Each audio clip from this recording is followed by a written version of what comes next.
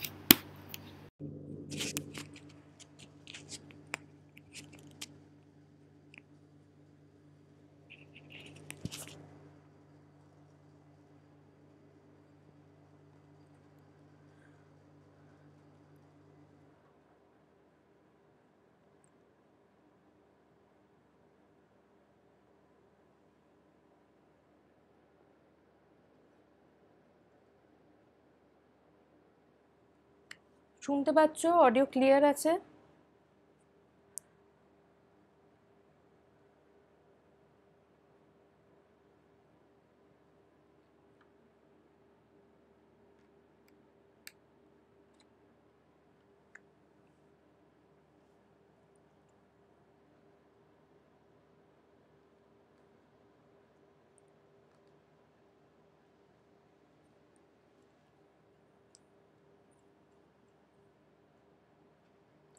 শোনা যাচ্ছে?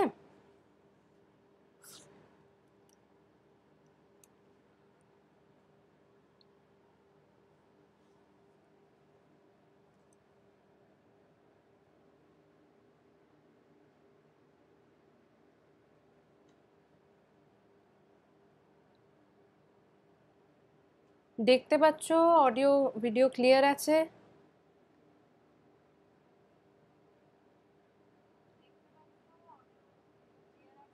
ওকে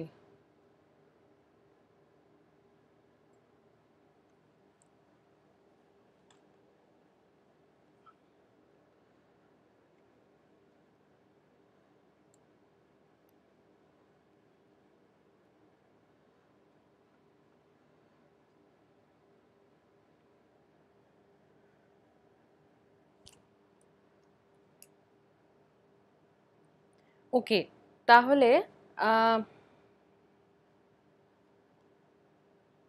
মিনিট।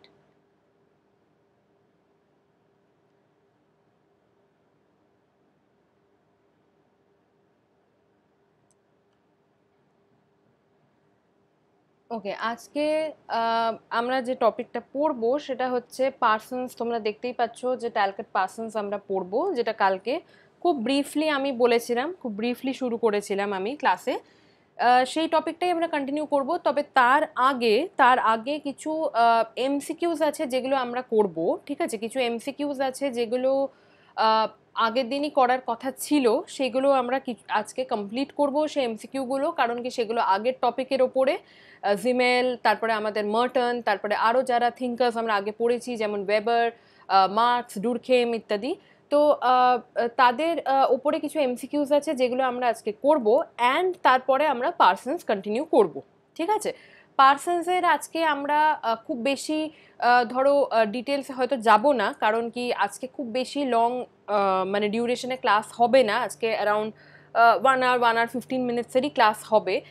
কালকে আবার আমরা পার্সনস কন্টিনিউ করব, পরশুও কন্টিনিউ করব অ্যান্ড আশা করছি নেক্সট দুদিনের মধ্যে পার্সনস কমপ্লিট হয়ে যাবে। নেক্সট দুদিন খুব বেশি হলে তিন দিন, তার চেয়ে বেশি পার্সনস লাগবে না মানে টাইম লাগবে না কমপ্লিট করতে। অ্যান্ড হয়ে গেলে তারপরে আমি একটা তোমার প্রিভিয়াস ইয়ার কোয়েশ্চেন্স যা এসেছে পার্সনসের ওপরে, সেটাতে আমরা আমরা একটু রিভাইজ করব, যা যা পড়িয়েছি, ধরো কীভাবে তোমরা অ্যাটেম্প্ট করবে, সেইটা আমি বলে দেবো, যেরকম আলাদা আলাদা কোয়েশ্চেন কী টাইপের কোয়েশ্চেন পার্সনসের উপরে এসেছে, সেইটা আমরা কিন্তু তখন পেয়ে যাব ডিসকাশন করব ওকে অ্যান্ড তাহলে ধরো আমাদের প্রিভিয়াস ইয়ার কোয়েশ্চেনও কিছুটা ডিসকাস করা হবে, যেরকম আগে একবার আমি করেছিলাম on Marx Weber and Durkheim তো জিমেল মার্টন আর পার্সনস এই তিনজন থিঙ্কার তো আমরা নতুন পড়ছি। তো ওনাদের ওপরেও কিছু প্রিভিয়াস ইয়ার কোয়েশ্চেন্স আমরা ডিসকাস করব। খুব বেশি কোয়েশ্চেন নেই সংখ্যায়। কম্পেয়ার টু যেটা ধরো ডুরখেম বা ওয়েবার বা মার্কসের ক্ষেত্রে ছিল, সেটা ডেফিনেটলি নেই অত বেশি সংখ্যায়। তো সেইটা আলোচনা করব আমরা। আরেকটা যেটা আমি বলেছিলাম প্রোভাইড করব, যেটা আমাকে একজন ও অনেকবার জিজ্ঞেস করেছিল আমাকে, একজন স্টুডেন্ট আমি জানি না ও আছে কিনা আজকে ক্লাসে দীপালি। ও বলেছিল যে একটা কম্প্যারিজন দিতে, একটা কম্প্যারিজন প্রোভাইড করতে between Marx and Weber Marx Weber আর যদি সমবায় ডুরখেম। কারণ কি কম্প্যারিজনের কোয়েশ্চেনটা কিন্তু কয়েক বছর এসেছে। দু তিনবার দেখা গেছে যে এরকম কম্প্যারিজন বেস কোয়েশ্চেন কিন্তু এসেছে। তো তাহলে আমাদের দুজনেরই মানে দুজন থিঙ্কারই আমাদের থিঙ্কারেরই কনসেপ্ট আমাদের ক্লিয়ার হওয়া দরকার। আর তার সাথে সাথে আমরা এই ওনাদের মধ্যে যে কম্প্যারিজন আছে সেইটা কিন্তু আমরা পড়ব। তবে কম্প্যারিজন এই জন্যই আমি এখনও ধরো ইনক্লুড করিনি মানে এখনও পড়াইনি। সেটার একটা কারণ হচ্ছে যে আচ্ছা হ্যাঁ দীপালি আছে ওকে গুড আফটারনুন দীপালি। তো ও আমাকে জিজ্ঞেস করেছিল অনেকবার কম্প্যারিজন দিতে। কিন্তু কম্প্যারিজনের একটা রিজন হচ্ছে যেটা আমি এখনও দিইনি, সেটা হচ্ছে যে কম্প্যারিজন কিন্তু দেখবে আমাদের একটা টপিক আছে, এটা আমি পরের উইকে করাবো টপিকটা সেটা হচ্ছে স্ট্র্যাটিফিকেশন ঠিক আছে? স্ট্র্যাটিফিকেশন বলে দেখবে একটা টপিক আছে তোমাদের। এই স্ট্র্যাটিফিকেশনেও কিন্তু মার্কস অ্যান্ড ওয়েবারের ভিউজ অন স্ট্র্যাটিফিকেশন আমরা পড়ব। ওকে স্ট্র্যাটিফিকেশন টপিকটার আন্ডারে মানে ওনাদের কি মত মানে on the topic of stratification on the issue of stratification সেইটা আমরা কিন্তু পড়ব ওকে তো আমার যেটা ইচ্ছে ছিল যে যখন ধরো স্ট্র্যাটিফিকেশনটা হয়ে যাবে, তখন আমি মানে এই থিঙ্কারদের মধ্যে কম্প্যারিজনটা দেবো অন মার্কস অ্যান্ড ওয়েবার কারণ এই স্ট্র্যাটিফিকেশনে কিন্তু এই কোয়েশ্চেনটা অনেকবারই মানে অনেক সময়ই আসে। এটা যারা সোশিয়োলজি পড়েছে কলেজে তাদেরও দেখবে মানে আমি কলেজ লেভেলেও দেখেছি যে অনেকবার এই কোয়েশ্চেনটা আসে যে comparison between the approach of Marx and Weber on their views of stratification ঠিক আছে? এইটা কিন্তু অনেকবার আসে। তো তাই জন্য ওই টপিকটাতেও কিন্তু আমাদের একটা স্ট্র্যাটিফিকেশন পড়তে হবে। তো যেটা আমার ইচ্ছে ছিল যে আমি স্ট্র্যাটিফিকেশনটা যখন পড়িয়ে নেব, খুব বড় টপিক নয় স্ট্র্যাটিফিকেশন তারপরে আমরা ওই তোমার মার্কস অ্যান্ড ওয়েবারের মধ্যে একটা কম্প্যারিজন করব। ওকে? তো এটা আমার মোটামুটি প্ল্যান ছিল, সেই জন্য আমি এখনও ইনক্লুড করিনি কম্প্যারিজনটা আর আজকে যেটা করব, সেটা হচ্ছে যে পার্সনস কিছুটা করব। ঠিক আছে? পার্সনস কিছুটা করব। অ্যান্ড তার সাথে সাথে যে প্রিভিয়াস যে বললাম যে থিঙ্কার্সগুলো তাদের ওপরে এমসিকিউগুলো করব আজকে। ওকে যেহেতু আজকে খুব বেশি লং ক্লাস হবে না, তো সেই জন্য আমি জেনারেলি এতদিন একটু লং মানে লং লঙ্গার ডিউরেশনের জন্য ক্লাস নিতাম। এখন সেটা একটু কম ডিউরেশনের জন্য হবে যেটা আমি বলছিলাম তোমাদেরকে। তো সেই জন্য আমার কিন্তু মানে একটা টপিকই ধরে নাও, একটু দু তিন দিন ধরে চলবে। ঠিক আছে? মানে টাইম মানে ডেটা একটু বেড়ে যাবে। টাইমটা যেহেতু মানে আওয়ারটা যেহেতু কমে যাচ্ছে, সেই জন্য নাম্বার অফ ডেজটা একটু বেড়ে যাবে। ওকে তো তাহলে এটা তো ধরো হলো যে আমি পার্সনস করাচ্ছি, তাহলে পার্সনস করানোর পরে কিন্তু মানে এই নেক্সট দু তিন দিনের মধ্যে পার্সনস যখন কমপ্লিট হয়ে যাবে, তখন কিন্তু তোমাদের থিঙ্কার্স কমপ্লিট মেইন যারা থিঙ্কার্স আছে, তারা কিন্তু তোমাদের কমপ্লিট ওকে সোশ্যোলজি পেপারে মেন থিঙ্কার্স তোমাদের কমপ্লিট হয়ে যাবে। নেক্সট যেটা তারপরে আমরা করব, সেটা হচ্ছে আরও কিছু টপিক যেরকম বললাম তোমাদেরকে স্ট্র্যাটিফিকেশন আমি ভেবেছি। অ্যান্ড পেপার টুটাও স্টার্ট করব, ঠিক আছে? Paper two stratification research method এই টপিকগুলো ইম্পর্টেন্ট আছে পেপার ওয়ানে আর পেপার টুটাও আস্তে আস্তে শুরু করব, যেখানে তোমাদের আরও কিছু থিঙ্কার্স আছে। পেপার টু এর যারা মেন তিনজন থিঙ্কার আছে, আর তার সাথে সাথে আরও কিছু টপিক আছে। একটু ব্যাপারটাকে তোমার ইন্টারেস্টিং করার জন্য ধরো আমরা সোশ্যাল ইস্যুস দিয়ে শুরু করতে পারি, ঠিক আছে? যেটা আমি ভেবেছি সোশ্যাল ইস্যুস কারণ কি এটা এমন একটা টপিক যেটা তোমাদের কিন্তু মানে বলতে পারো যে কিছুটা তোমরা রিলেট করতে পারবে। কারেন্ট অ্যাফেয়ার্স বা ইত্যাদির সাথে তোমরা রিলেট করতে পারবে সোশ্যাল ইস্যু যেমন কি ধরো উইমেন ইস্যুস চাইল্ড মানে চাইল্ডের ওপরে চাইল্ডের কী ধরনের প্রবলেম হয়, ঠিক আছে? ড্রাগ অ্যাডিকশন এই যে ধরো টপিকগুলো আছে, দেখবে তোমাদের এটা আছে পেপার টুতে এই ধরনের টপিকগুলো দেখবে তোমরা যেহেতু এগুলো আমাদের সোশ্যাল প্রবলেম সোশ্যাল ইস্যুস তো সেইগুলো তোমরা কিন্তু খুব ইজিলি রিলেট করতে পারবে। তো তাহলে এই মানে থিওরি ব্যাপারটা তো একটু হেভি তো সেই জন্য দেখবে একটা একঘেমো চলে আসে কিছুদিন পর। মানে একই রকম, সে থিঙ্কার্স এটা বলেছে, সেটা বলেছে ফাংশনালিজম পজিটিভিজম মানে অনেকটা একরকম মনে হয়। তো সেইটা একটু ব্রেক করার জন্য আমরা কিন্তু সোশ্যাল ইস্যুস টপিকটা দিয়ে আমি পেপার টুটা শুরু করব। পেপার টু এর থিঙ্কার্সও আছে। থিঙ্কার্সও আমি করাতে পারি। কিন্তু যেহেতু আমরা অলরেডি অনেক থিঙ্কার্স করেছি পেপার ওয়ানে তো একটা জাস্ট চেঞ্জ করার জন্য we can go to this topic social ইস্যুসের টপিকটা তারপরে তো আবার থিঙ্কার্স আমরা করবই। সেটা তো, সেটা নিয়ে তো কোনো অসুবিধে নেই। ঠিক আছে? তো এটা মোটামুটি প্ল্যান ওকে অ্যান্ড আরেকটা হচ্ছে যেটা তোমাদেরকে বলে দিই যে আজকে আমার ওই হিস্ট্রি স্পেশাল ক্লাস আছে যেটা আগের দিন যদি কেউ তোমরা থাকো দীপালি মনে ছিল, তো ও জানবে যে ইন্দাস ভ্যালি সিভিলাইজেশন যেটা আগের দিন কমপ্লিট হয়নি, যেটা ক্লাসে বাকি ছিল করা, সেইটা আজকে কমপ্লিট করাবো আমি আজকে স্পেশাল ক্লাসে অ্যান্ড কিছু এমসিকিউজ তার সাথে আমি দেবো on on that topic only মানে ইন্দাস ভ্যালির ওপরেই কিন্তু কিছু এমসিকিউজ থাকবে আর তার সাথে যে টপিকটা বাকি ছিল পেন্ডিং ছিল, সেটা কমপ্লিট হবে।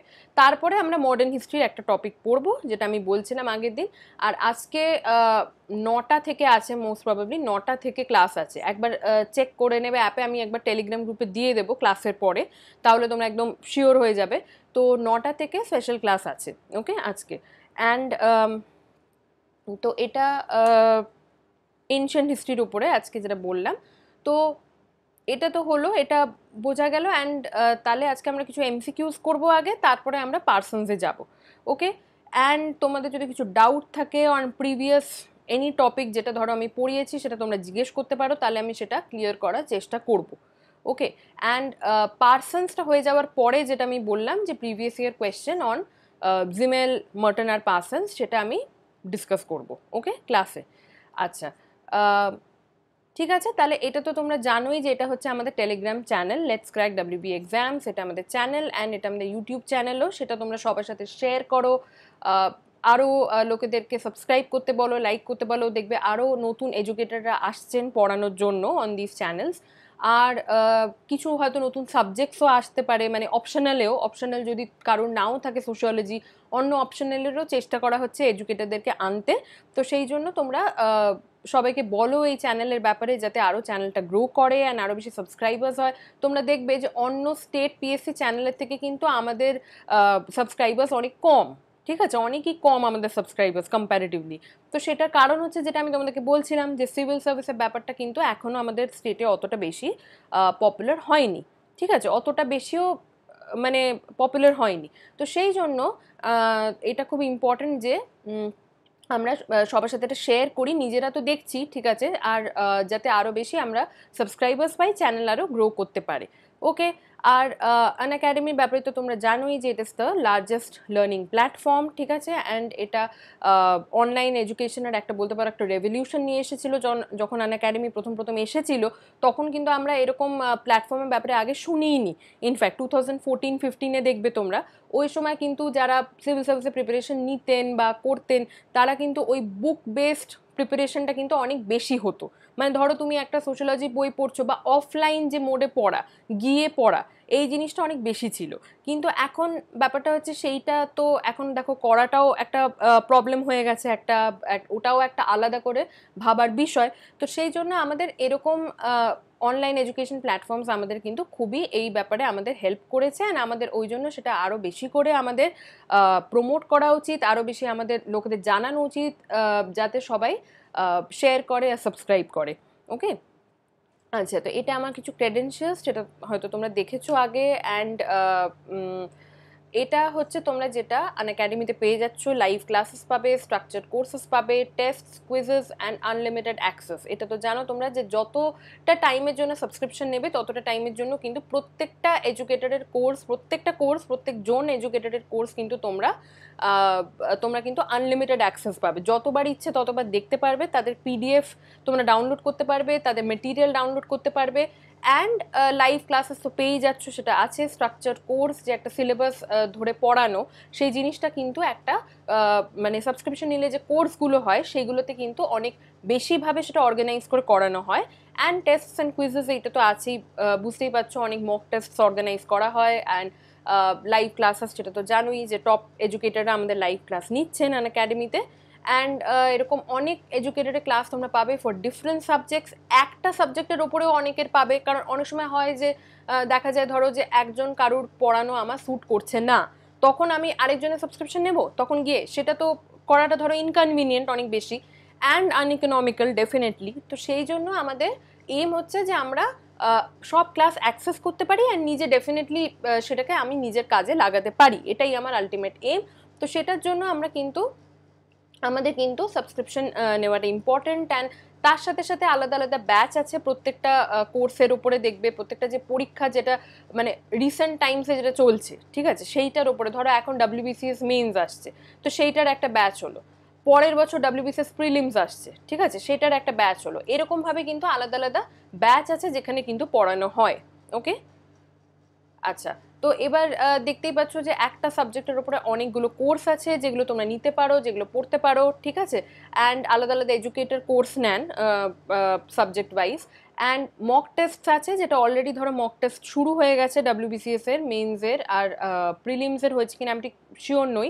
বাট তোমরা চেক করবে অ্যাপে তাহলে ওখান থেকেই তোমরা দেখতে পাবে। অ্যান্ড ফ্লেক্সিবল শিডিউল তোমরা জানো ল্যাঙ্গুয়েজ ব্যারিয়ার নেই বাইলিঙ্গুয়াল হয়। মোস্ট ক্লাসেস দেখবে, বেশিরভাগ ক্লাসে কিন্তু বাইলিঙ্গুয়াল হয়, ঠিক আছে? তো এটাও ইম্পর্ট্যান্ট আমাদের জন্য। And we can learn any time anywhere যে কোনো সময় আমরা যে কোনো মুহূর্তে দেখতে পারি, আর শিখতে পারি অ্যান্ড এডুকেটরের সাথে ইন্টারাক্ট করতে পারি ডাউটস ক্লিয়ার করতে পারি অ্যান্ড লাইভ পোলসে পার্টিসিপেট করতে পারি। যেটা ধরো স্পেশাল ক্লাসে আমি করার চেষ্টা করছিলাম যে লাইভ পোল হচ্ছিল। তো সেইটাতে আমাদের কিন্তু পার্টিসিপেট করার একটা আলাদা মোটিভেশন আসে। যেটা হয়তো এমনি আমি ধরো বলে যাচ্ছি, তোমরা শুনছো, সেইটাতে হয়তো আমরা একটু মোনোটনাস ফিল করি। একঘেয়েমেও একটা এসে যায় একটা পয়েন্টের পর।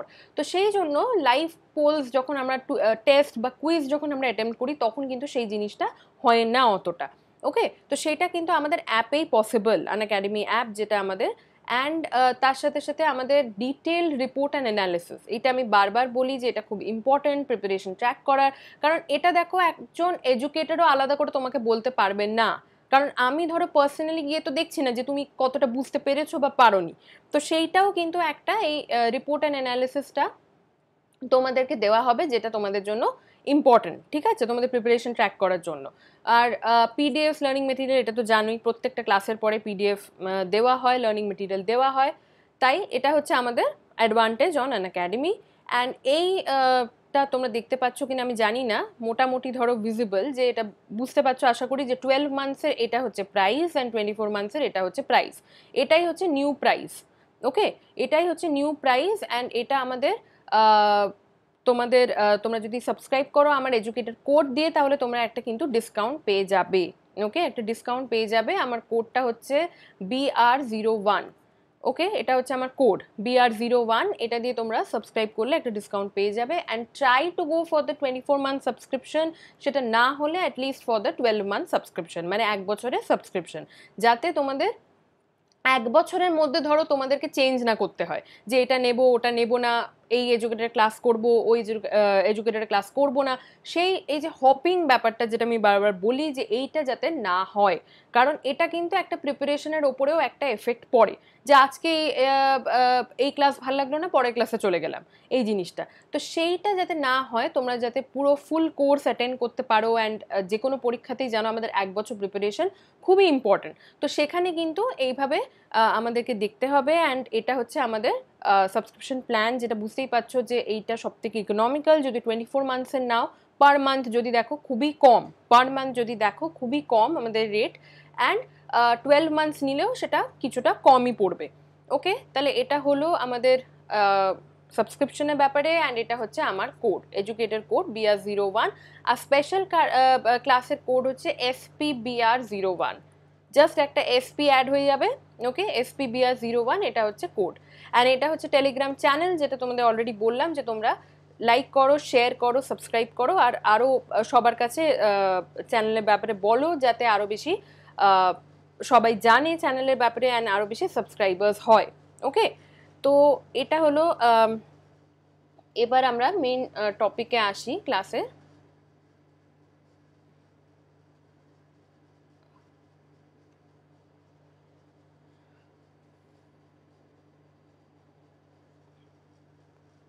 আচ্ছা আগে আমি জিমেল আর মার্টনের ওপরে এমসিকিউসগুলো করি, তারপরে আমরা পুরনো কিছু করব।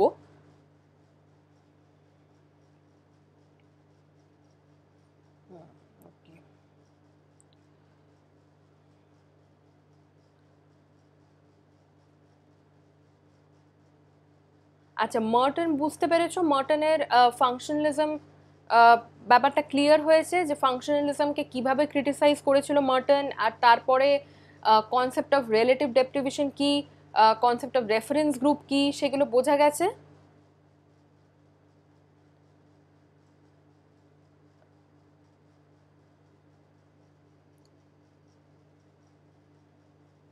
আরও যেগুলো আমরা পড়েছিলাম, যেরকম তোমার strain theory of anomie strain theory of অ্যানামিটা I think বুঝতে পেরেছ, কারণ আমি সেই ডায়াগ্রাম দেখে বুঝিয়েছিলাম।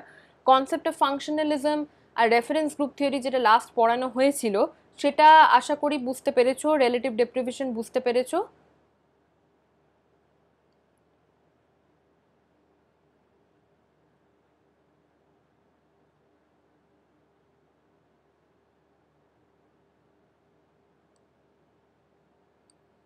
ক্লিয়ার হয়েছে? ওকে। আচ্ছা।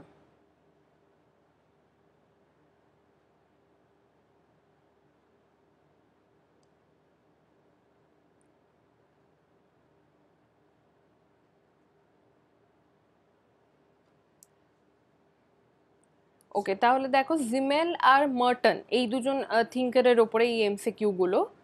পরে আমি আরও বেশি দেব। আপাতত এই কয়েকটা ধরো ফ্রেম করেছি।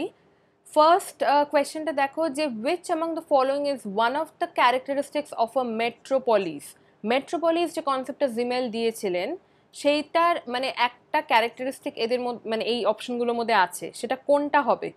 কোন ক্যারেক্টারিস্টিকটা হবে of a metropolis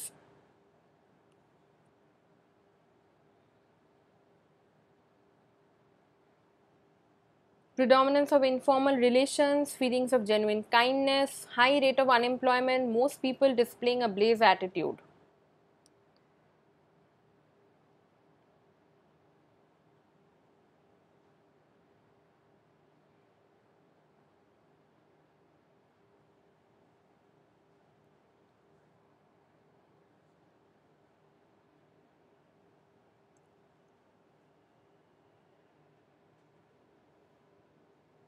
Okay Dipali বলছে option D most people displaying a blaze attitude তাহলে দেখো, বাকি যে অপশনগুলো বাকি কোনো অপশনই কিন্তু অ্যাপ্লিকেবল নয় পুরোপুরি, ঠিক আছে? প্রিডমিনেন্স অফ ইনফর্মাল রিলেশন একটা সিটির মধ্যে ইনফর্মাল রিলেশন প্রিডমিনেন্টটা একেবারেই নয় মানে খুব বেশি ইনফর্মাল রিলেশন দেখাই যায় না। প্রচণ্ড ফর্ম্যালিটি থাকে প্রফেশনাল রিলেশন থাকে বিউরোক্রেটিক স্টাইলে বলতে পারো আমরা অপারেট করি। মানে অলমোস্ট সে অফিসের মতন, তাই না? তো এই ফার্স্ট অপশনটা তো একেবারেই হবে না। ফিলিংস অফ জেনুইন কাইন্ডনেস এটাও হবে না বিকজ জেনুইন কাইন্ডনেস এরকম কোথাও দেখা যায় না অ্যান্ড শহরে বা মেট্রোপলিসে তো একেবারেই দেখা যায় না। তো সেই জন্য ফিলিংস অফ জেনুইন কাইন্ডনেস এটাও একেবারেই হবে না।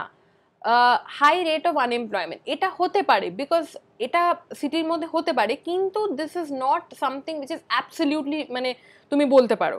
কোনো সিটিতে হতেই পারে, সেখানে আনএমপ্লয়মেন্ট রেট হয়তো কম হাই রেট অফ আনএমপ্লয়মেন্ট হয়তো নেই, ঠিক আছে? তো সেই জন্য এই হাই রেট অফ আনএমপ্লয়মেন্টটাও আমরা শিওরলি বলতে পারি না।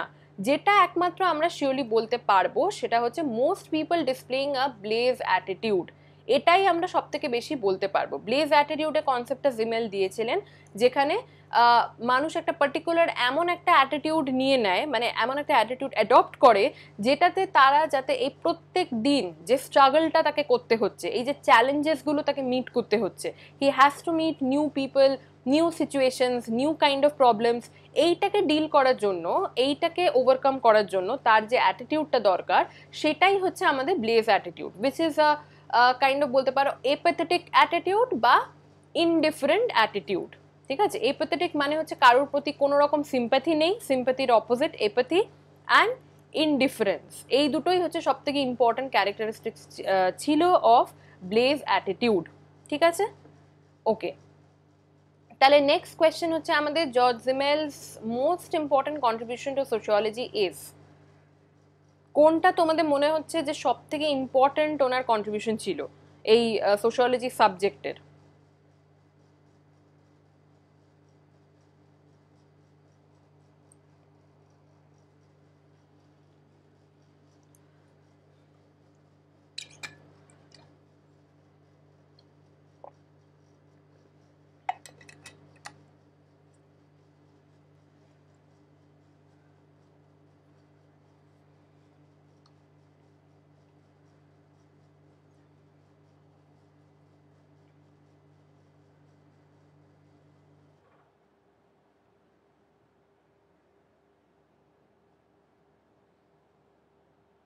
কোনটা দেখো মনে হচ্ছে অপশনগুলো দেখে যে সব থেকে ইম্পর্টেন্ট কন্ট্রিবিউশন টু সোশিওলজি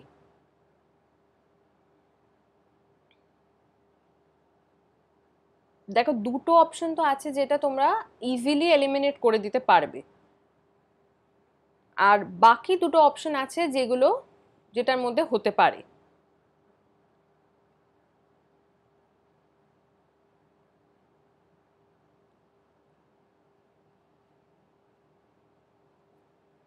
আচ্ছা দীপালি বলছে এ ডি আচ্ছা দুটোই বলেছে। না সরি এ বলেছে ওকে ডি তো আগেরটাতে।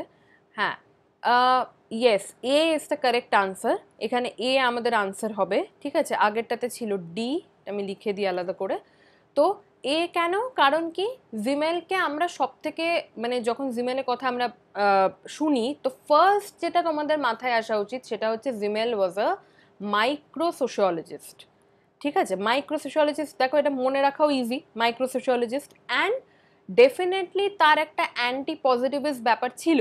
কিন্তু উনি মানে promoting and anti positivist philosophy মানে হচ্ছে যে মানে বলতে পারো লিটারালি দেখতে গেলে সব জায়গায় অ্যান্টি পজিটিভিজম উনি প্রমোট করছেন।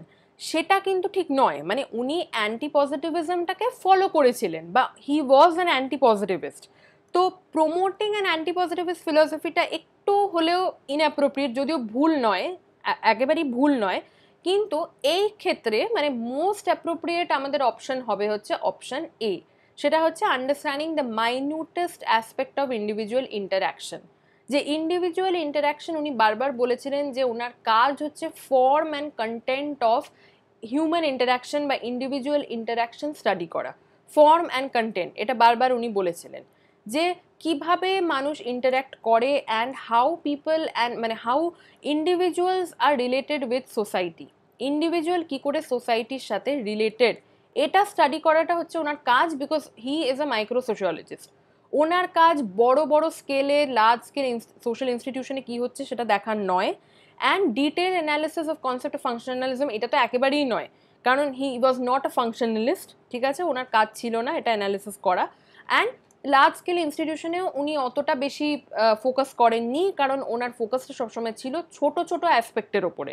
Of what of individual interaction বা বলতে পারো of the relationship between individual and society এটা ওনার মেন উদ্দেশ্য ছিল। And definitely he was not a positivist he was anti positivist তবে এখানে আমাদের মোস্ট অ্যাপ্রোপ্রিয়েট অপশন এটা হচ্ছে। ঠিক আছে? আন্ডারস্ট্যান্ডিং দ্য মাইনিউটেস্ট অ্যাসপেক্ট আচ্ছা। এবার নেক্সট কোয়েশ্চেন দেখো which among the following statements is not true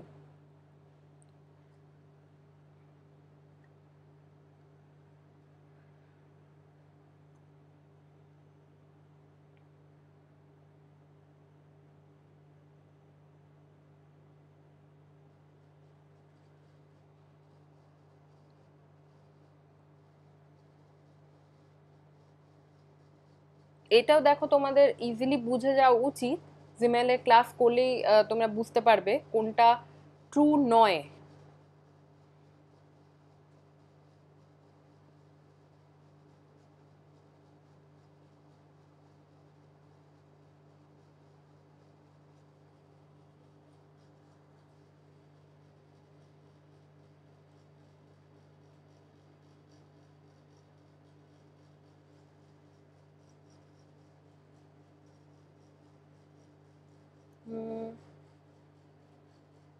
Dipali বলছে অপশন ডি অপশন ডিটা কি ট্রু নয়? মানে it is not true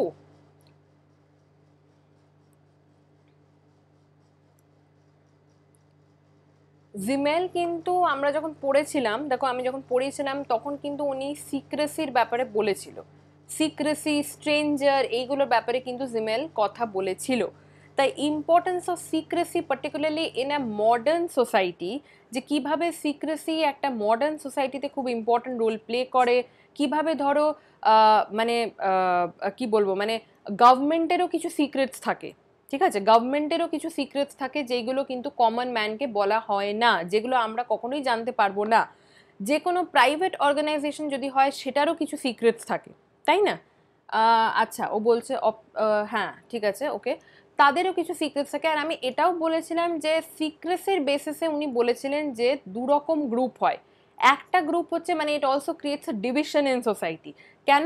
কারণ একটা গ্রুপ হচ্ছে যারা who have the access to knowledge who can have access to knowledge তারা কিন্তু সব খবরাখবর পাচ্ছে। কি হচ্ছে না হচ্ছে, কি চলছে অ্যাকচুয়ালি তারা কিন্তু সব রিপোর্ট তাদের কাছে আছে।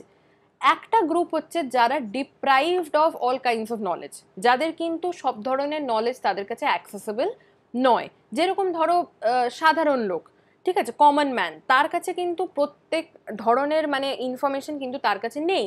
তাই জন্য তো এই RTI right to information act and এইসব এত কিছু বেরিয়েছে। কারণ আগে অনেক ক্ষেত্রেই দেখা যেত যে সে কিন্তু সঠিক ইনফরমেশনটা জানতেই পারতো না। ঠিক আছে, সেটাকে চেপে দেওয়া হতো। তো এই সিক্রেসি ব্যাপারটা নিয়ে আরও অনেক ডিটেলে ডেফিনেটলি আমরা পড়েছিলাম, সেইটা উনি কিন্তু বলেছিলেন কথা। তাই এটা নট ট্রু কিন্তু নয় মানে দিস ইজ ট্রু যে উনি ইম্পর্টেন্স নিয়ে বলেছিলেন। এখানে দেখো মাইক্রোসোশিওলজিস্ট এটা তো জানোই, এটা তো হবেই। He was influence by Darwin and Spencer এটাও ট্রু উনি হয়েছিলেন ইনিশিয়ালি ইনফ্লুয়েন্স তারপরে উনি ডিভিয়েট করে গেছিলেন। এখানে আমাদের অপশনটা হবে সি আনসারটা হবে এখানে আমাদের সি যে Simmel believe that in order to understand individual interaction we must study social institutions ব্যাপারটা কিন্তু উল্টো ছিল। মানে উনি বলেছিলেন যে in order to understand social institutions we must understand individual interaction.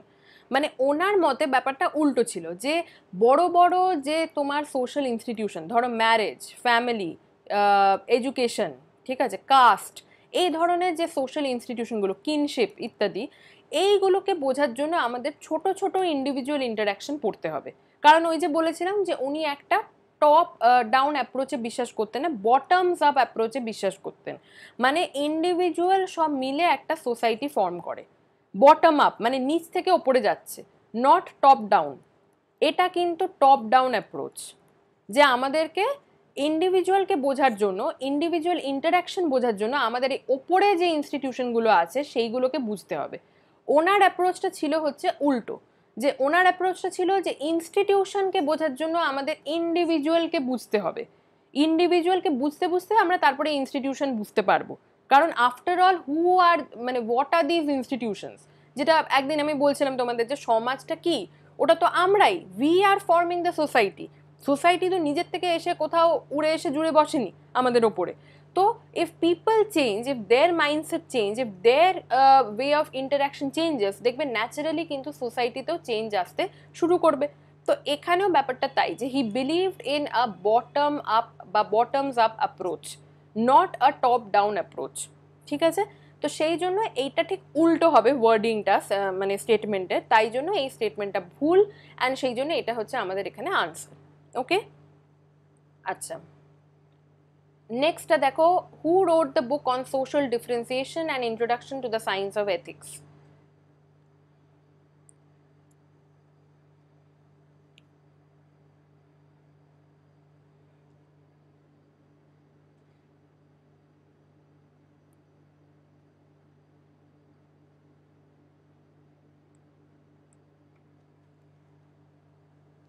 এই দুটো বই কে লিখেছিল on social differentiation and introduction to the science of ethics.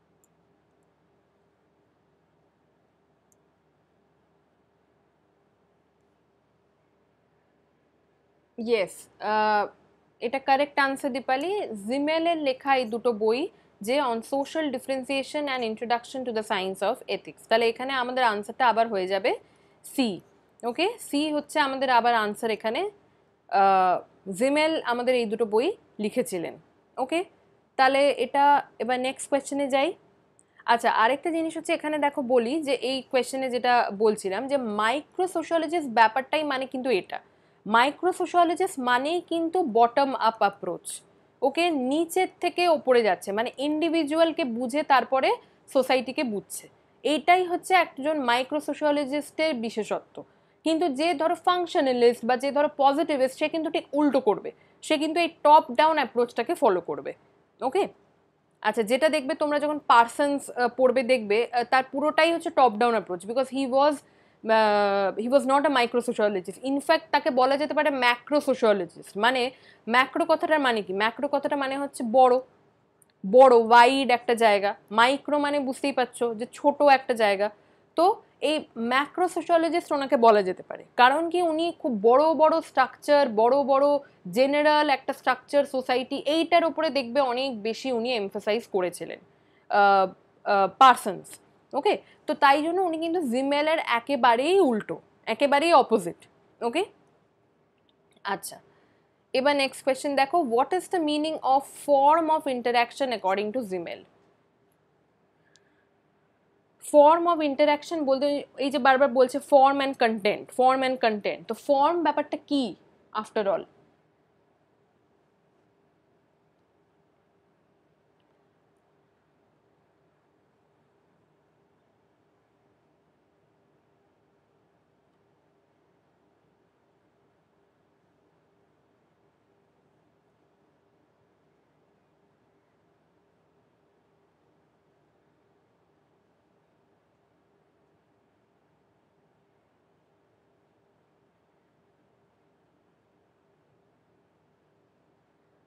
form of interaction বলতে জিমেল কি বোঝাচ্ছেন?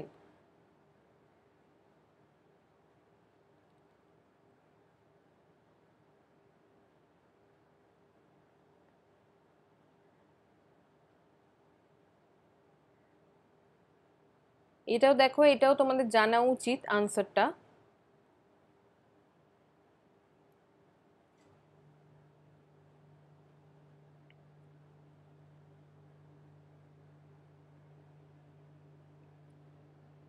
দীপালি আচ্ছা আনসার দিয়েছে আচ্ছা ঠিক আছে বি বি বলছে মানে হচ্ছে disjunction in means and balance okay আচ্ছা disjunction in means and balance এই কথাটার মানে কি? ডিসজাংশন মানে হচ্ছে যে মিনস অ্যান্ড ব্যালেন্সটা ঠিক করে হচ্ছে না। এটার মধ্যে একটা ডিসজাংশন আছে। ডিস কথাটার মানে হচ্ছে যেটা ধরো হচ্ছে না। মানে যেরকম ধরো আমরা বলি ফাংশন ফাংশন মানে কি? ফাংশন যেরকম নর্মাল কোনো জিনিসের ফাংশন বা সোসাইটাল ফাংশন যেটা এখানে বলা হচ্ছে ডিসফাংশন মানেই হচ্ছে যেটা ঠিক করে হচ্ছে না উইচ ইজ সামথিং নেগেটিভ তাই না? তো ডিসজাংশন মানেও তাই যে মিনস অ্যান্ড ব্যালেন্সটাতে কিছু গন্ডগোল আছে বা এটা ঠিক করে হতে চাইছে না। তো ফর্ম অফ ইন্টারাকশন যখন জিমেল বলছেন মিনস অ্যান্ড ব্যালেন্সের কথা কিন্তু কোথাও সেরকমভাবে কিন্তু বলা হয়নি। এটা আই থিঙ্ক ওর কনফিউশন হচ্ছে উইথ মার্টন মার্টনে বারবার করে ওই means and balance means and balance বলা হয়েছে। অ্যানমি যে থিওরিটা আমরা পড়লাম স্ট্রেন থিওরি ঠিক আছে? তো এটা হতে পারে যে ও হয়তো সেটার সাথে কনফিউশন হচ্ছে, কিন্তু মিনস অ্যান্ড ব্যালেন্সের কথা কিন্তু আলাদা করে সেরকমভাবে জিমেল কিন্তু কোথাও বলেননি, ঠিক আছে? The way society imposes restriction on individuals এটাও ফর্মের ডেফিনেশন আমরা বলতে পারি না। গ্রোয়িং ফর্ম্যালিটি তো একেবারেই নয়। গ্রোয়িং ফর্ম্যালিটি রিলেশনশিপ এটা ফর্ম মানে গ্রোয়িং ফর্ম্যালিটি নয়, ঠিক আছে? ফর্ম্যালিটি তো সে তো ঠিক আছে, আলাদা একটা point nothing to do with form এটা হচ্ছে আমাদের আনসার হবে এখানে option D okay the patterns of interaction which are relatively stable and predictable এটা মানে হচ্ছে যে, যেভাবে ইন্টারাকশন হচ্ছে which is relatively stable and predictable মানে যেটা মোটামুটি স্টেবল অ্যান্ড প্রেডিক্টেবল যেটা মোটামুটি প্রেডিক্ট করা যায় যে এরকমই হবে। যেরকম ধরো আমি তোমাদেরকে এক্সাম্পল দিয়েছিলাম যে পেরেন্ট চাইল্ড রিলেশনশিপ ধরো ওকে পেরেন্ট চাইল্ড রিলেশনশিপ তো এই ধরনের রিলেশনশিপে দেখবে ফর্মটা তো একই হবে। মোটামুটি তুমি যেই সোসাইটিতেই দেখো না কেন, ধরো আজকে তুমি একটা গুজরাটি কমিউনিটিতে দেখলে, তুমি পরের দিন একটা বেঙ্গলি কমিউনিটিতে দেখলে, তারপরের দিন তামিল দেখলে, তারপরের দিন তেলেগু দেখলে মোটামুটি কিন্তু দেখবে তুমি এই form of parent child relationship কিন্তু একই হবে। ইভেন ওয়েস্টার্ন সোসাইটিতেও কিছুটা কিছুটা নট এন্টায়ারলি পুরোটা মিলবে না, কিন্তু কিছুটা ডেফিনেটলি সেম হবে। ঠিক আছে? তো বেসিক ফর্মটা কিন্তু আমাদের একই থাকছে। আর ফর্ম এই যে ফর্ম বারবার করে বলা হচ্ছে, এটা মানে কি? এটার মানে হচ্ছে প্যাটার্নস অফ ইন্টারাকশন যেভাবে ইন্টারাকশন হচ্ছে। ঠিক আছে? Which are relatively stable and predictable stable কেন? কারণ মোটামুটি এটা একই রকম থাকে ইউনিফর্ম থাকে, খুব একটা বেশি চেঞ্জ হয় না across societies and it is also predictable change হয় না বলেই প্রেডিক্টেবল তুমি জানো যে এইটা করলে এটাই হবে। যেমন ধরো তুমি জানো যে sun rises in the east এটা তো প্রেডিক্টেবল মানে ইউ অলরেডি নো ইট যে it is going to happen এটা তো চেঞ্জ হয়ে যাবে না একদিন, তাই না? তো যেটাই একটু স্টেবল যেটাই একটু ইউনিফর্ম যেটা একই রকমভাবে হচ্ছে, ওটাই আমরা বলতে পারি প্রেডিক্টেবল তো সেই জন্য এইগুলো হচ্ছে সেই ধরনের রিলেশনশিপ বা প্যাটার্ন অফ রিলেশনশিপ যেইগুলো relatively stable and predictable pattern কারণ দেখবে যখন একটা পেরেন্ট চাইল্ড বা একটা হাজব্যান্ড ওয়াইফ রিলেশনশিপ হয়, ওটার একটা ডেফিনেট প্যাটার্ন থাকে যেভাবে ইন্টারাকশনটা হচ্ছে। একটা ধরন থাকে যেটাকে আমরা বলি, একটা টাইপ থাকে ইন্টারাকশনের ওটার বাইরে খুব বেশি কিন্তু দেখা যায় না এক্সেপশন ডেফিনেটলি আছে, কিন্তু কম সেটা ওকে আচ্ছা তাহলে এটা বোঝা গেছে আই থিঙ্ক তো ডিসজাংশন এন্ড মিনস অ্যান্ড ব্যালেন্সটা কিন্তু জিমেলের একেবারেই জিমেলের কনসেপ্টে খুব একটা কোথাও নেই।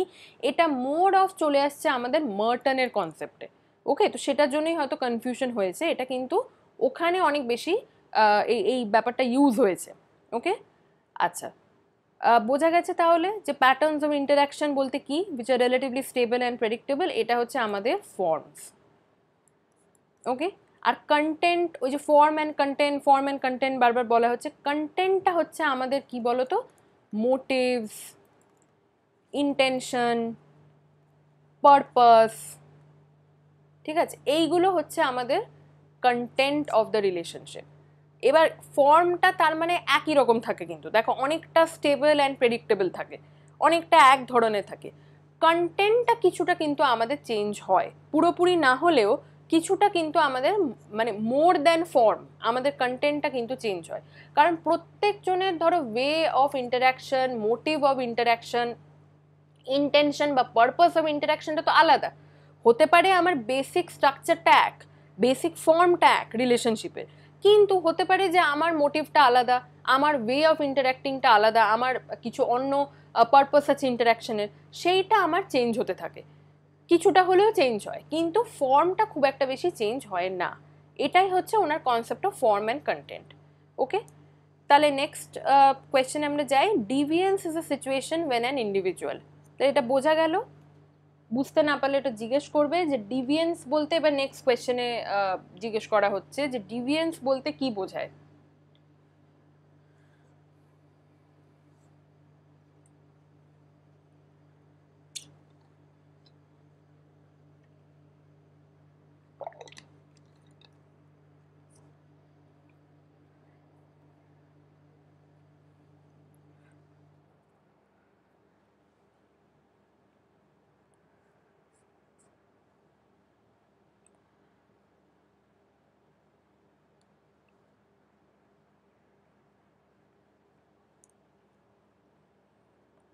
ডিভিয়েন্স কথাটার মানে বা বলতে পারো সোশ্যোলজিক্যালি যদি আমরা দেখি, তাহলে ডিভিয়েন্স কথাটার মানে কি? What is the situation stress কথাটার মানে জানো? স্ট্রেস স্ট্রেজ কথাটার মানে কি বলো তো স্ট্রেস মানে হচ্ছে যেটা সরে যাওয়া, ঠিক আছে? অন্যদিকে চলে যাওয়া।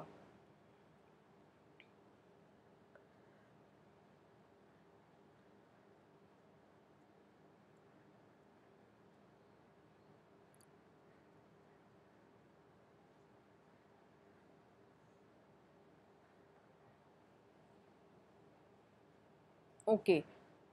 এখানে বলছে অপশন বি অপশন বি দেখো অপশন বিতে কি বলছে যে stress from the path proscribed by society এ কি বলছে? Stress from the path prescribed by society follows both means and end set by society disobeys what parents are saying তো deviance কথাটার মানে কি? ডিভিয়েন্স মানে হচ্ছে ডিভিয়েট করে যাওয়া। ডিভিয়েট করে যাওয়া যেটা দেখো তোমাদের ক্লাসে আমি বলেছিলাম, সেটা হচ্ছে যে যেটা সেট পাথ যেই রাস্তায় ধরো আমার চলার কথা সেট অলরেডি সেট করা আছে ফিক্স করা আছে, সেটার থেকে আমি সরে যাচ্ছি। এটাই হচ্ছে আমার ডিভিয়েন্স স্ট্রে করে যাচ্ছে, এই যে স্ট্রে কথাটা ইউজ করা হচ্ছে। I am straying from the road that I should take ধর ধরো, বা the path that I should take তো এইটাকে বলা হচ্ছে স্ট্রে করে যাওয়া। ওকে ডিভিয়েট করে যাওয়া। তো এখানে যখন বলা হচ্ছে যে দেখো ডিভিয়েন্সে এখানে যেমন বলছে ডিজোবেস বট পেরেন্টস আর সেইং এটা হতে পারে, ঠিক আছে, কিছুটা বলতে পারো ডিভিয়েন্স কিন্তু পুরোপুরি নয়। খালি পেরেন্টস কি বলছে ডিজোবে করছি, সেটাই খালি ডিভিয়েন্স হয় না, ঠিক আছে? আচ্ছা এটা তাহলে হলো না। Follows both means and end set by society এটা তো একেবারেই হবে না। কারণ কি, যদি ফলোই করছে, তাহলে আর ডিভিয়েট কোথা থেকে করছে, ঠিক আছে? তাহলে এটা পুরোপুরি এলিমিনেট ওকে নেক্সট আসছে আমাদের stress from the path proscribed by society proscribed R prescribed এই কথাটা মানেটা কিন্তু আমি বলেছিলাম।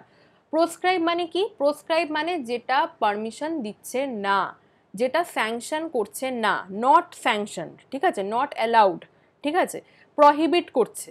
তো stress from the path proscribe by society তো যেই রাস্তাটা আমাকে সোসাইটি করতে মানে নিতে বারণ করছে, যেটা যে কাজটা করতে বারণ করছে, সেটা যদি আমি না করি, তার থেকে যদি আমি ডিভিয়েট করে যাই, তাতে কি হলো?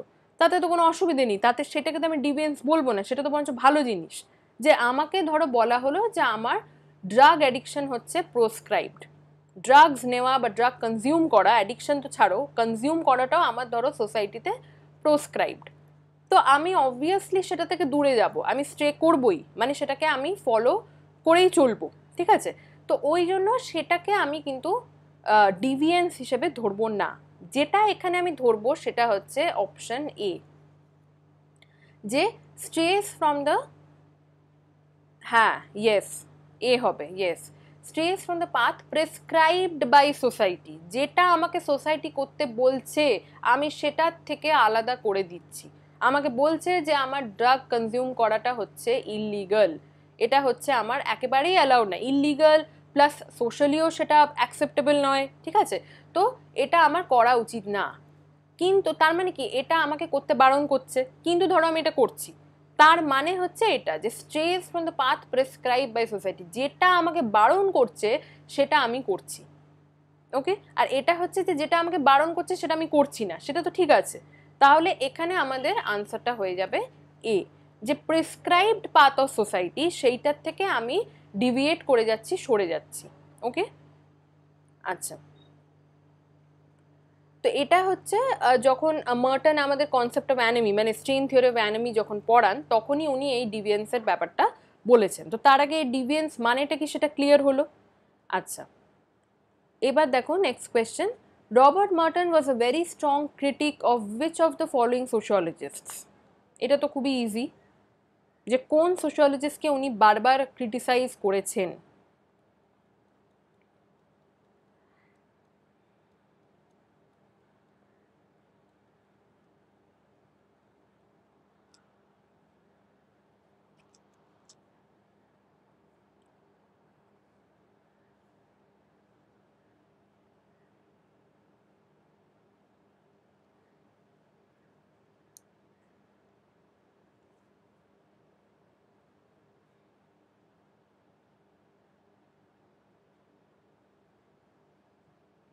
বি ইয়েস বি হচ্ছে আমাদের কারেক্ট আনসার উনি বারবার করে ট্যালকাট পার্সনসকে ক্রিটিসাইজ করেছে। যে পার্সনসের কথা আমরা এখন বলছিলাম যে পার্সনস পড়ব, তো পার্সনসের থিওরি আর থিওরিটিক্যাল অ্যাপ্রোচকে উনি কিন্তু বারবার ওনার সব জায়গাতে ক্রিটিসাইজ করেছেন। ইনফ্যাক্ট ওনার মানে সোশ্যোলজির একটা স্টার্টিং পয়েন্ট ঠিক আছে? একটা স্টার্টিং পয়েন্টই ওনার ছিল হচ্ছে পার্সনসের ক্রিটিসিজম এটার থেকেই কিন্তু উনি শুরু করেছিলেন। পুরো ওনার যে থিওরি, পুরো ব্যাপারটা, সেটাকে কিন্তু উনি স্টার্ট করেছিলেন from the criticism of Talcott Parsons ঠিক আছে?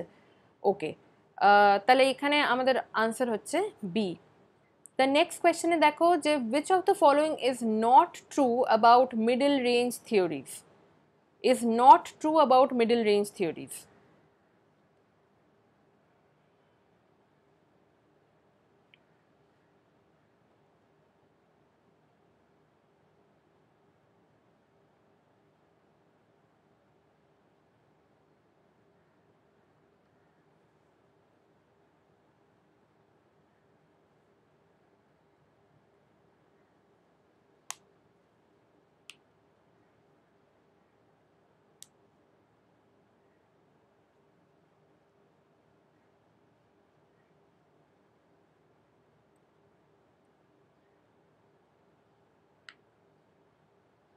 কোনটা ট্রু নয় মানে কোনটা কারেক্ট নয় অ্যাবাউট মিডল রেঞ্জ থিওরিজ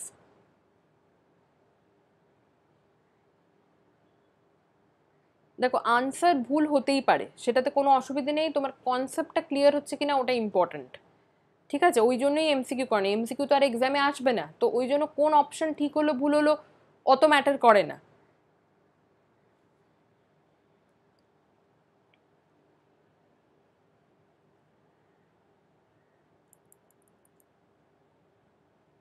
ওকে দীপালি লিখছে বি অ্যান্ড ডিতে কনফিউশন বি অ্যান্ড ডিতে কনফিউশনে বলছে আচ্ছা এবার আমি এক্সপ্লেন করি তাহলে ক্লিয়ার হয়ে যাবে ব্যাপারটা দেখো বিতে বলছেন উনি যে it's a it is a হবে it is a theoretical approach for formulating new theories in sociology C তে বলছে it combines theoretical abstraction and empirical research and D তে বলছে tries to move away from grand theoretical assumptions and it is a functional theory A তে বলছে by Rob, uh, Robert Merton তো বলছে not true about middle range theory. Middle range theory কি? সেটা আমরা কি পড়েছিলাম? Middle range theory কি হয়? সেটা হচ্ছে যে it is a theoretical approach for formulating new theories in sociology এইটা তো ট্রু এটা তো কারেক্ট ঠিক আছে? কারণ এটা ওনার অ্যাপ্রোচ মানে ওনার তরফ থেকে বলতে পারো মানে ওটা এটা হচ্ছে ওনার একটা কন্ট্রিবিউশন যে মার্টন কি কন্ট্রিবিউট করেছিল, যে he tried to formulate he tried to develop a new theoretical approach for building new theories বা formulating new theories in sociology এই নিউ অ্যাপ্রোচটা ছিলই হচ্ছে আমাদের মিডল রেঞ্জ থিওরি এটাই তো নতুন, কারণ এর আগে তো কেউ মিডল রেঞ্জ থিওরি বলতে কেউ এটার ব্যাপারে কোনো কথা বলেনি, সেই জন্য তো আমরা আলাদা করে পড়ছি। ওকে তো এটা কিন্তু ওনার একটা নিজস্ব অ্যাপ্রোচ ছিল। ওকে থিওরিটিক্যাল অ্যাপ্রোচ তাই এই অপশনটা কিন্তু কারেক্ট হবে। বি হবে না তাহলে? আচ্ছা okay it combines theoretical abstraction and empirical research এই অপশনটাও কিন্তু অ্যাবসলিউটলি কারেক্ট যে এই মিডল রেঞ্জ থিওরির মেন পারপাসটাই ছিল এটা। যে কি হবে, কীভাবে আলাদা হবে অন্য থিওরির থেকে? যে থিওরিটিক্যাল অ্যাবস্ট্রাকশন অ্যান্ড এম্পেরিক্যাল রিসার্চকে কম্বাইন করছে। মানে থিওরিটিক্যাল যে ধরো মানে বলতে পারো অ্যাজামশন বা যে আমরা অনেক বড় বড় থিওরি বলি যে এটা হলে এটা হবে, ওটা হলে সেটা হবে, এইটাকে অ্যাকচুয়ালি গ্রাউন্ডে হচ্ছে কিনা রিয়ালিটিতে অ্যাকচুয়ালি হচ্ছে কিনা, সেইটার সাথে উনি মানে ওই দুটো ফ্যাক্টরকে উনি কম্বাইন করে এই মিডল রেঞ্জ থিওরিতে কিন্তু উনি প্রেজেন্ট করেছেন। Okay empirical research and theoretical abstraction এই দুটোকে উনি কম্বাইন করেছেন। ঠিক আছে? তাহলে এটাও হচ্ছে না আমাদের ধরো। নেক্সট হচ্ছে tries to move away from grand theoretical assumptions এটাও ট্রু কারণ এই মিডল রেঞ্জ থিওরি কথাটার মানেই ছিল যে এটা কিন্তু এই বড় বড়, খুব বড় গ্র্যান্ড কমপ্লিকেটেড যে জেনারেল থিওরি ঠিক আছে সোশ্যোলজি সেইটার থেকে এগুলো কিন্তু মানে ওনার যে অ্যাপ্রোচটা সেটা আলাদা হতে চেয়েছিল। ঠিক আছে it was a new approach by him তো এই গ্র্যান্ড থিওরিটিক্যাল কনসেপ্ট বা অ্যাজামশন যেটা পার্সনস দেখবে তার থিওরিতে ইন্ট্রোডিউস করেছে বা ইমপ্লিমেন্ট করেছে, সেইটার থেকে উনি সরে যেতে চেয়েছিলেন through his concept of middle range theory তাহলে কি পড়ে থাকল? এটাও তো তাহলে দেখো ট্রু তাহলে নট ট্রু একটাই আনসার যে it is a functional theory given by Robert Merton না, এটা কিন্তু কারেক্ট নয়। It is not a theory দেখো, এই জিনিসটাই মনে রাখার, এই জন্য আমি কোয়েশ্চেনটা দিয়েছিলাম যে মিডল রেঞ্জ থিওরি কিন্তু একটা পার্টিকুলার থিওরি নয়। It is a theoretical approach এটা নামটা শুনে কনফিউশন হতে পারে যে মিডল রেঞ্জ থিওরিজ মানে হচ্ছে অনেকগুলো থিওরি হয়তো মিডল রেঞ্জ থিওরি ওরকম নয়, এটা হচ্ছে এক ধরনের থিওরিটিক্যাল অ্যাপ্রোচ যে কীভাবে আমি থিওরি তৈরি করব। ওনার একটা মেন এম ছিল যে সোশিওলজিস্টদেরকে বোঝানো যে কীভাবে তাদের সোশিওলজিক্যাল থিওরি বিল্ড করা উচিত, কীভাবে তৈরি করা উচিত। তো এটার একটা খুব প্রাইমারি সেই জন্য অ্যাপ্রোচ উনি সাজেস্ট করেছিলেন নিজের দিক থেকে, সেটা হচ্ছে আমাদের এই মিডল রেঞ্জ থিওরি যে থিওরি কীরকম হবে সবসময়? যে অ্যাবস্ট্র্যাক্ট যে ব্যাপারটা মানে যে ব্যাপারটা ধরো আমি, আমরা দেখতে পারি না, বুঝতে পারছি না, ঠিক আছে? এই জিনিসটার সাথে ফিলোসফিক্যাল বা স্পিরিচুয়াল এই ধরনের কোনো জিনিস, ওটার সাথে রিয়ালিটিকে কম্বাইন করা। তবেই তো আমার সে থিওরির কোনো অ্যাপ্লিকেশন বা কোনো ইউজ হবে? আদারওয়াইজ আমি যদি খালি হাওয়ায় হাওয়ায় একদম ভাষা ভাষা কথা বলি, তাহলে তো যেটা কোনো রিয়ালিটির সাথে কোনো কানেকশনই নেই। তাহলে আমার সে থিওরির পয়েন্টটা কী তাহলে? যেটা ধরো আমি তোমাদেরকে এক্সাম্পল দিয়েছিলাম ক্লাসে অ্যাবাউট স্পিরিচুয়াল বা রিলিজিয়াস এলিয়েনেশন যে ফয়ার ব্যাগ বা ধরো এই যে আমাদের হেগেল, ঠিক আছে?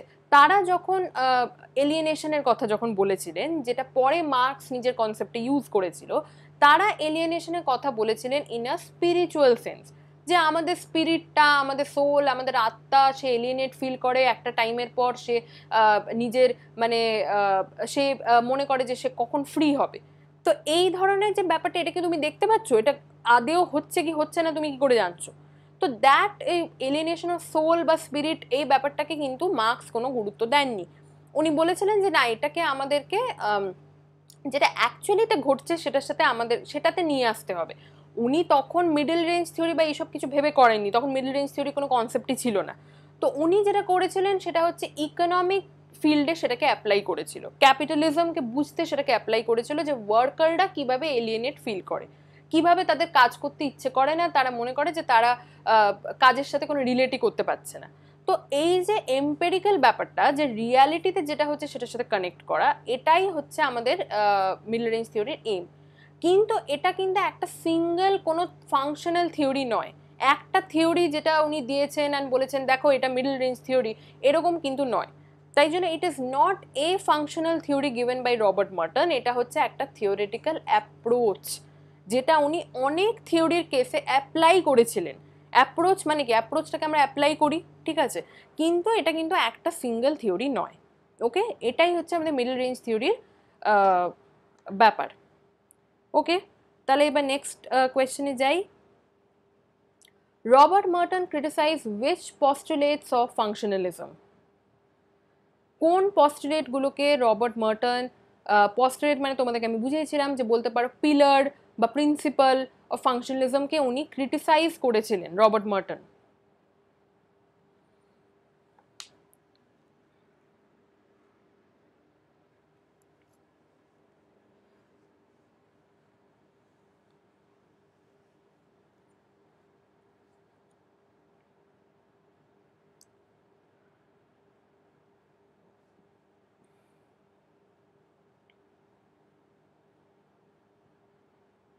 এটাও দেখো খুব ইজি এটা একদম ডাইরেক্ট কোয়েশ্চেন এটা কালকে যদি তোমরা ক্লাস করে থাকো তাহলে একদম ডাইরেক্টলি বুঝতে পারবে কোনটা। কোন দুটো পস্টুলেটকে উনি ক্রিটিসাইজ করেছিলেন এই অপশনগুলোর মধ্যে?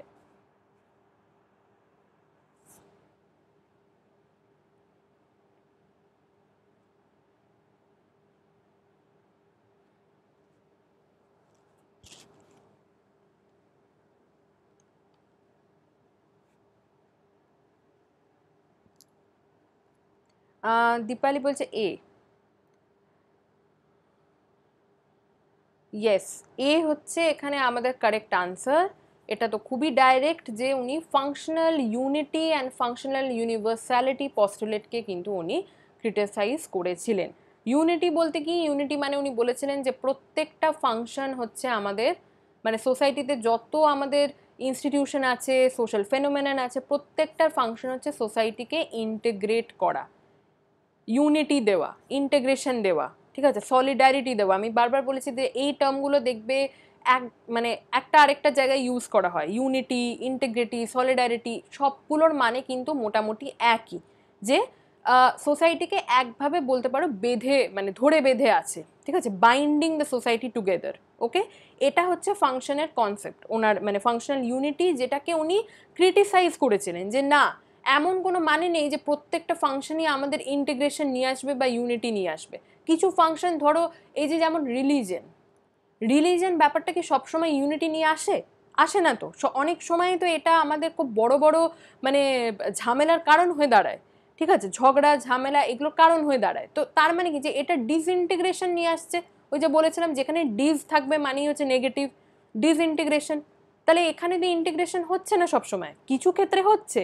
ইন্টিগ্রেশনও যেমন হচ্ছে, তার সাথে সাথে কিন্তু দেখো ডিসইন্টিগ্রেশনও হচ্ছে। তুমি পুজোয় একসাথে হচ্ছ, দেখবে অনেক রিলিজনের মানুষরা পুজোয় একসাথে হয়, হয়ে যায়, ঠিক আছে? তারা ইউনিটি মানে ফলো মানে একটা ইউনিফাইড ওয়েতে সব কিছু করে, ঠিক আছে? কিন্তু সেখানে কিন্তু ডিসইন্টিগ্রেশনেরও কথা আসছে। দেখবে ভাসান যখন হয় পুজোর, তারপরেই দেখবে যে ওই তোমার মুসলিমদের কোনো ফেস্টিভ্যালের সাথে ওই সময় জেনারেলি ক্ল্যাশ হয় অনেক সময়। ভাসানের টাইমটা আমি ঠিক মনে করতে পারছি না কোন ফেস্টিভ্যাল থাকে। ওদের একটা ফেস্টিভ্যাল থাকে যেটার সাথে অনেক সময় দেখবে আমাদের দুর্গাপুজোর পরেই কিন্তু ভাসানের সময়টা অনেক সময় ক্ল্যাশ হয় যে ওই দিন ভাসান হবে না ওই দিন ওদের ফেস্টিভ্যাল ফল মানে পালন করা হবে। তো এই ব্যাপারটাতে কিন্তু তখনই দেখবে তুমি একটা ডিসইন্টিগ্রেশন এসে যায়। না কে প্রায়োরিটি পাবে দুর্গাপুজো যারা করছে তারা প্রায়োরিটি পাবে, না যারা ওই ধর্মের লোক তারা নিজেদের ফেস্টিভ্যাল ইয়ে করছে তারা বেশি প্রায়োরিটি পাবে? এই নিয়ে একটা প্রচণ্ড পলিটিক্স অ্যান্ড একটা ডিসইন্টিগ্রেশন বা ডিসইউনিটি কিন্তু সোসাইটির মধ্যে দেখা যায়। তাহলে রিলিজন যেরকম পজিটিভ ফাংশন ফুলফিল করতে পারে, সেরকম কিন্তু নেগেটিভ ফাংশনও ফুলফিল করতে পারে বা নিয়ে আসতে পারে। তো সেই জন্য উনি বলেছিলেন ওরকমভাবে ইউনিটি বলতে ওরকম কিছু হয় না। যে সব ফাংশনই একই জিনিস মানে সেটা রেজাল্টটা একই হবে। আর ইউনিভার্সালিটিটাও অনেকটা সিমিলার বলতে পারো, যে যেখানে উনি manifest latent function dysfunction manifest latent dysfunction এইগুলোর কথা উনি বলেছিলেন। যে প্রত্যেকটা ফাংশন যেগুলোকে আমি ধরো ওপর ওপর দেখে মনে করছি হয়তো পজিটিভ সেটা কিন্তু আমি যদি লেটেন্টভাবে দেখি, আমি যদি একটু অন্যভাবে দেখি, একটু ভেতর থেকে দেখার চেষ্টা করি আরও ডিপলি দেখার চেষ্টা করি, আমি কিন্তু পেতে পারি যে সেটা কিন্তু একটা সেটা কিন্তু লেটেন্ট ডিসফাংশনও হতে পারে। ঠিক আছে? যেটা আমার ওপরে দেখে মনে হচ্ছে হয়তো খুব ভালো, সেটা কিন্তু আমার সেটা নাও হতে পারে। আবার যেটা ওপর থেকে দেখে মনে হচ্ছে খুব বোকা বোকা, যেটা ওই হপি রেন ডান্সের কথা বলা হয়েছিল। যে ওপর থেকে খুবই সিলি ইললজিক্যাল ইরাশনাল কিন্তু ভেতরে কিন্তু সেটার যে লেটেন্ট ফাংশনটা কিন্তু সেটার খুবই ইম্পর্ট্যান্ট তো এই জিনিসটা উনি এক্সপ্লেন করেছিলেন, এই যখন উনি ফাংশনাল ইউনিভার্সালিটি পস্টুলেটটাকে ক্রিটিসাইজ করেছিলেন, যে না, প্রত্যেকটা ফাংশনের কিন্তু আলাদা আলাদা মানে থাকতে পারে। লেটার ম্যানিফেস্ট ইত্যাদি ওকে তাহলে এটা উনি বলেছেন, এই অপশনগুলো তো দেখো কোনোটাই হবে না রিকোয়েসাইট অল্টারনেট ফাংশনাল অল্টারনেট উনি বলেছিলেন বাট এখানে সেটা অ্যাপ্লিকেবল নয় স্ট্রাকচারাল এগুলো তো একেবারেই ভুল ওকে স্ট্রাকচারাল অ্যানোমি উনি বলেছিলেন বাট উনি ওটাকে, ওটা ক্রিটিসাইজ করেননি, ওটা আলাদা থিওরি হয়ে যাচ্ছে। আচ্ছা তো লাস্ট কোয়েশ্চেনে এবার আসি যে by reference group Merton means reference group বলতে মার্টন কি বোঝাতে চেয়েছিল?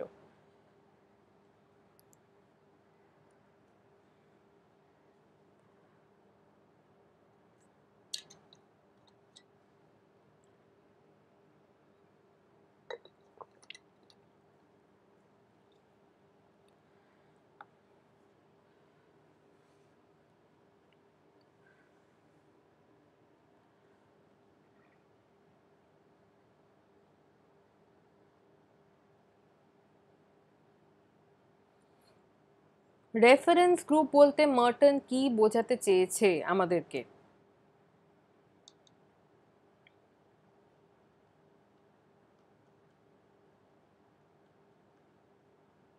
দীপালি বলছে অপশন ডি। দীপালি আরেকবার দেখো, যদি অন্য কোনো অপশন মনে হচ্ছে কিনা বলো। অন্য কোনো অপশনে কি কনফিউশন হচ্ছে না ডি মনে হচ্ছে হবে?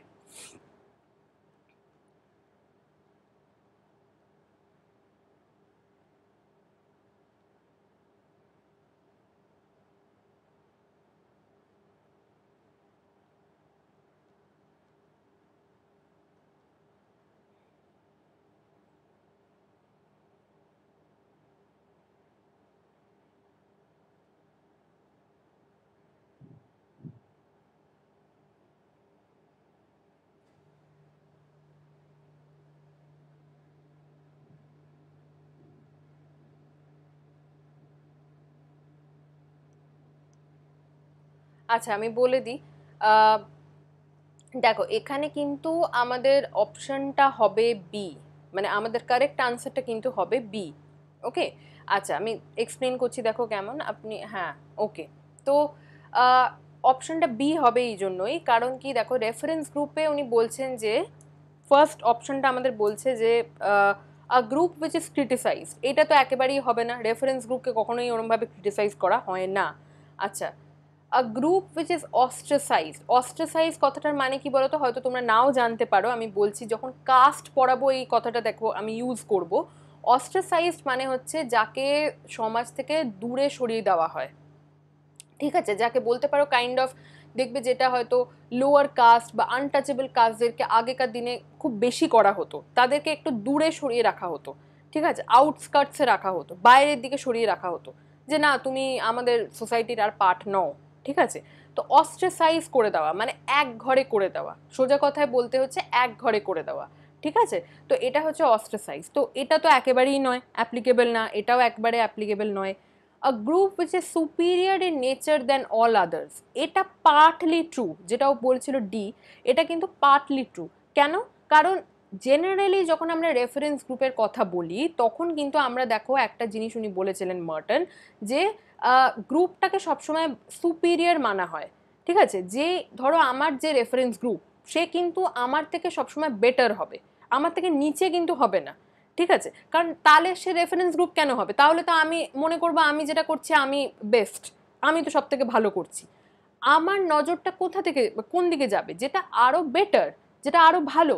বা যাকে আমি মনে করছি যে আমার থেকে আরও বেশি সুপিরিয়র ঠিক আছে? নেচার বা কোয়ালিটি বা যাই বলো।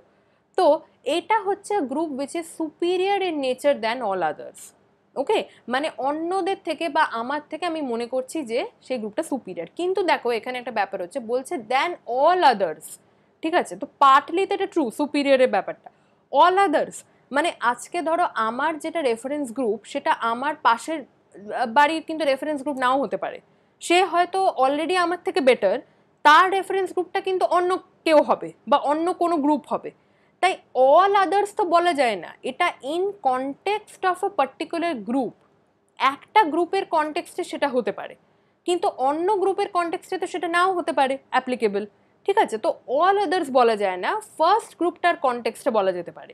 যে দ্য ফার্স্ট গ্রুপ ফিলস যে দ্য আদার গ্রুপ মানে যাকে সে রেফারেন্স গ্রুপ মনে করছে, সে হচ্ছে তার থেকে সুপিরিয়র ঠিক আছে? নট অল আদার্স সব গ্রুপের থেকে সুপিরিয়র নয়। আরে তার থেকেও তো বেটার কেউ আছে, তাই না? তো অল আদার্স যখন কথাটা ইউজ করা হচ্ছে এটা হবে না। তাই অপশনটা আমাদের কোনটা হবে? সেটা হচ্ছে group which is emulated emulated মানে হচ্ছে যেটা কপিড যেটা আমি বলেছিলাম পড়ানোর সময়। যে এমিউলেটেড মানে হচ্ছে একটা গ্রুপ যেটাকে কপি করা হয়। দেখো, এখানে বাই অল আদার্স বা এমন কিছু কথা কিন্তু মেনশন করা নেই। তো সেই জন্য এই অপশনটা আমরা চুজ করব। ওকে যদি চুজ করতে হয় যে গ্রুপ উইচ ইজ এমিউলেটেড যাকে অন্য গ্রুপরা বা একটা অন্য পার্টিকুলার গ্রুপ কপি করছে, যার কাস্টম বা যার ধরো কালচার রিচুয়াল এটসেট্রা সেগুলোকে কপি করার চেষ্টা করছে, আর ফলো করার চেষ্টা করছে। কারণ সে মনে করছে যে ওই গ্রুপটা আমার থেকে বেটার ওকে তো জেনারেলি আমরা এটা বলি অ্যান্ড যেটা অপশন ডিটা সেটা পার্টলি ট্রু কিন্তু যেহেতু বলা হয়েছে অল আদার্স সেই জন্য অল আদার্স কিন্তু হবে না। পার্টিকুলার গ্রুপের কনটেক্সটে হবে। ওকে তাই এটাই হচ্ছে আমাদের রেফারেন্স গ্রুপের কনসেপ্ট আচ্ছা। তাহলে এটা বোঝা গেছে। তাহলে এই এমসিকিউগুলো করলাম। বাকি যে আরও মার্কস ওয়েবার ডুরখেম যেটা আমি বলছিলাম আরও এমসিকিউজ আছে, সেটা আবার আমরা কালকে কন্টিনিউ করব। জিমেল আর মটনের ওপরে এমসিকিউজ এই কটাই আমি রেখেছিলাম, দশটা মতন। এটা কমপ্লিট হয়ে গেছে। বাকিগুলো আবার আমরা কালকে কন্টিনিউ করব। আজকে যেটা এখন আমরা পড়ব, সেটা হচ্ছে আমরা পার্সনস কিছুটা আরও পড়ব। ওকে আচ্ছা দাঁড়াও।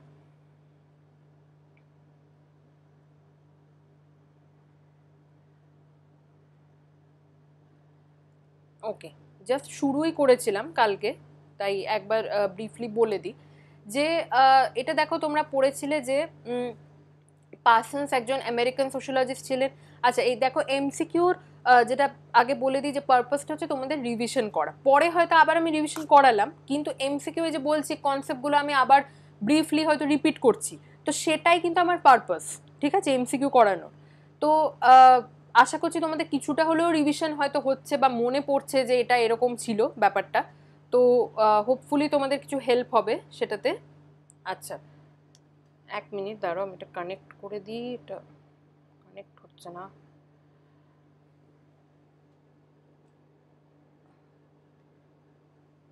হ্যাঁ।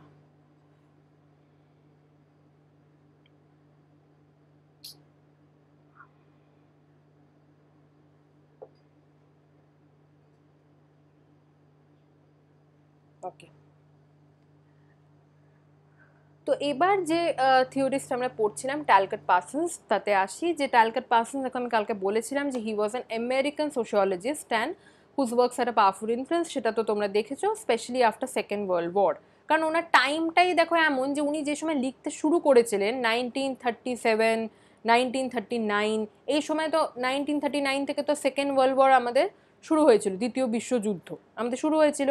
তো এই সময়ের পর থেকে, যুদ্ধর পর থেকে কিন্তু ওনার ইনফ্লুয়েন্সটা অনেক বেশি সোশ্যোলজিতে আমরা দেখতে পাই। His works have also influenced other disciplines like political science যেটা